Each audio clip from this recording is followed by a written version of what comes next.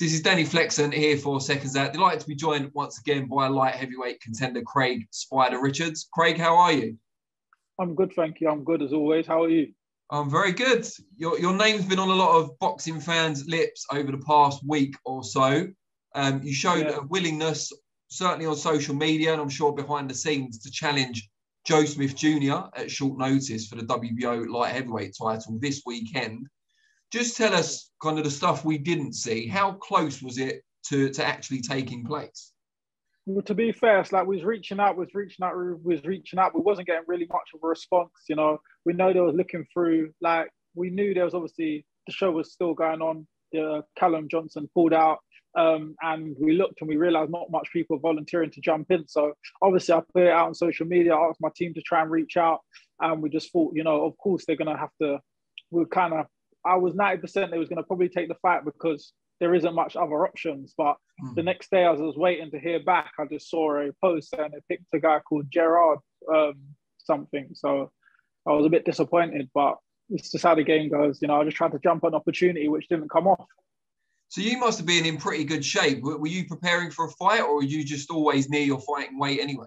I'm I never go too far with my fight weight. Obviously, I don't drink. I don't really eat bad out of camp anyway. And if I'm not in camp, then I'm still probably training once a day anyway.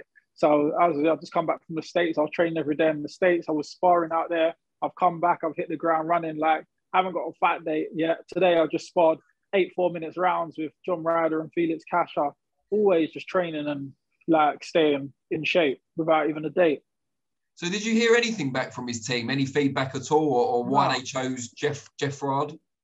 Well, they they they first put a message out saying, oh, they were strapped with options and no one wanted to jump at the opportunity, so they picked him. But everyone clearly saw I was more than willing, and I was putting it out in social media. Not, I was also putting it out on social media. I was making it very public that as soon as the announcement was made, that I was willing to go. So I don't think that's very true of what I heard back from the team, but because um, everyone could clearly see I was an option and I was ready to to fight. I've made it very clear. And tell us your mindset because you you were in camp, but well, you were in training, but you weren't in camp. He was preparing for a fight. Did you think Joe Smith Jr. beatable champion style wise it works, or was it just any champion would have had that issue and you still would have volunteered? You know, stylistically, I feel Joe, Joe Smith's good for me.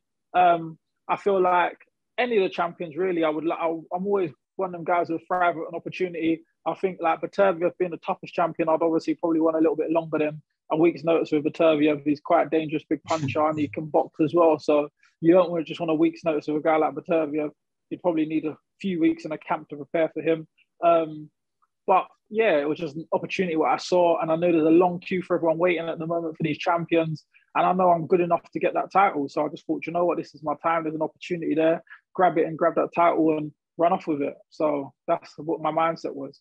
And then you begun looking into like travel options and how to get out there and, potential like uh, isolation or whatever you have to do when you get there, that kind of thing.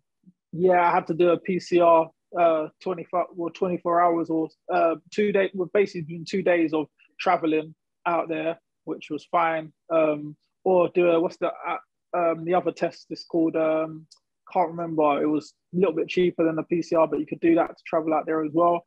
So I thought, all right, do that, and I just needed to to get out there, and then I could have sorted out what else I need to sort out out there. So that's why I said, look, I'm ready to go now. My bags are packed because then all I have to do is run out quickly, go get that test, jump on a plane, and sort whatever I need to sort out over on that side. Any sort of medical things or checks I needed, I would have done that in the states and got myself ready. You're quite a positive person generally, but saying it was kind of 90% there in your mind and then finding out they'd gone with someone else, you must have been pretty disappointed. Yeah, I was a bit disappointed, but I always knew there's always an option that because obviously it's not like an agreement and stuff. So always there's an option they could go a different route. But I just I looked at the options. I didn't think there was really no other options because even if you look at social media afterwards, at the time there wasn't anyone else volunteering. Hmm. So I thought, of course, there's only one name in the hat. So you know. Had you heard of Steven Geffrard before he took the fight? Never. No, I, I, first had to research him. It come up with some Steven Gerrard. I was like, this ain't this can't be him. And I had to Google him again. I've never heard of him in my life. Fair enough. So, what does the future now hold for you? You said you haven't got a fight date yet, but has, has Eddie and Matchroom given you any indication of when you might be out? They've got a lot of shows coming up. Yeah, it was looking towards the end of March, April anyway. So it's probably possibly like looking towards uh, early April now. So um, I'll still be preparing towards April now, and um, we're obviously going for a list of names and seeing who's um, able to be ready for that date. Because at this stage in my career, as I'm saying, I'm not, I don't, I'm not a prospect now. I've proven I'm a, a worthy world world contender. So I need the big fights, the big names. I want to do the big camps, and I want to make sure they're all worth it at this stage and keep progressing in my career. You proved yourself last year pushing Dmitry Bivol close for the WBA belt. But I think even more so when you returned in October and dealt with a fellow contender in the way someone of your stature should. You know, he'd only lost yeah. split decisions in the past, and you got him out there in good fashion. Yeah, he's only lost two on split. He's had 24 fights. He's more experienced than me and only lost two on split. Never been hurt, never been dropped, never been wobbled. Very aggressive. He'd been with big punches. Guys 15 and 0, 12 KOs and walked him down and got a draw. So we know that he was very tough.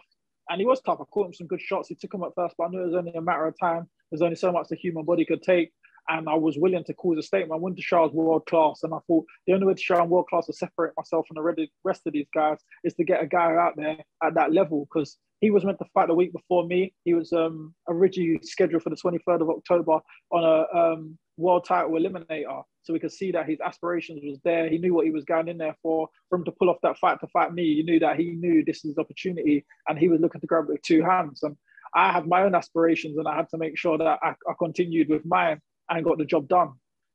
Is it important now that if the next fight or two fights aren't world title shots, that they are relatively big names or, or that there's something at stake? Because you don't want to go back in levels with the motivation you've got and, and where you're aiming to be. Exactly, you hit the nail on the head. That's exactly what it is. There's got to be some incentive. If it's not world titles, got to be some incentive, good names or something different in my career. Like, say, for instance, they called me up for a good name in the USA, I would I would like to do something like that. Anything was different in my career was going to build me. Either like that sort of fight, if I went like and beat a big world known um, name, will elevate my um, elevate my profile and put my name in the hat even more for these world champions to wanna um, you know pr- like prove their champions to defend their belts against me. Maybe someone along the lines of a Marcus Browne or, or even a Kovalev, who obviously a former champion, you know, you look at John Ryder, who you spend a lot of time with. He's got Danny Jacobs coming over. That that sort of fight, that must be the sort of thing that you like. Bang, it's something like that. Exactly what John's got is something what I would like. You know, like say like Kovalev is a very big name. That that would be good. You know, he's a big name. He's been champion for many years, and everyone knows him because he's got a massive profile. When people used to think about the light heavyweight division, uh, Sergey Kovalev used to be the first one on the end of your tongue. So someone with a stature and profile like that, for me, I would love to get in there and mix it with them sort of guys. And of the other kind of British light heavyweights, I should ask this question. I know you're not interested in facing them unless there's a world title on the line. Who do you make as the best of the bunch apart from yourself? Apart from myself, I'm not sure. Yeah. You know, it's it's kind of weird because everyone's got a different style in the light heavyweight division. So it's kind of like he might be good against him, he might be good against him. Um, so it's, stylistically, I can't really, I can't really call it. That's fair enough. I'll, I'll, let you sit on the fence on that one. We, we know I'd you think outside of achieve, outside of achievements, um, outside myself, well, obviously just came up in weight, but Callum Smith is obviously the guy who's done the most, um, achieved most obviously at super middleweight. So he hasn't obviously shown anything at light heavyweight yet, but he showed what he can do at super middleweight. And now he came up and he had a good win on his first fight up. So we'll over time we'll see how he kind of pans out in the division as well. Is that a fight you might fancy? You've obviously got the same promoter. Would you like to give him a real welcome to the division? Do you know what? It's not. It's not someone I thought of like, oh, I want Callum Smith. No, it's just it's one of them ones that anyone with a world title, um, or I could fight for a world title. It doesn't matter who it is. I would fight them. Good stuff. Really, really appreciate your time. Let's do this again when you've got a, a fight date nailed on. Um, but yeah, hopefully on, onwards and upwards. Thank you, man. Good. Thank you for your time as well.